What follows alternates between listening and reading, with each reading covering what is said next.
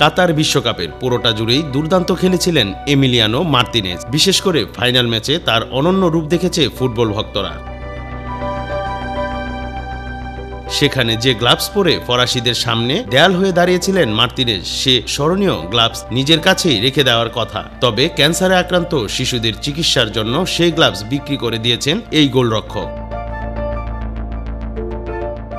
শুক্রবার গ্লাভজোড়া নিলামে তোলার সময় ইংল্যান্ড থেকে ভিডিও কলে যোগ দিয়েছিলেন মার্টিনেজ। সংবাদ সংস্থা এএফপি জানায়, এ গ্লাভজোড়া নিলামে পঁয়তাল্লিশ হাজার ডলারে বিক্রি হয়েছে।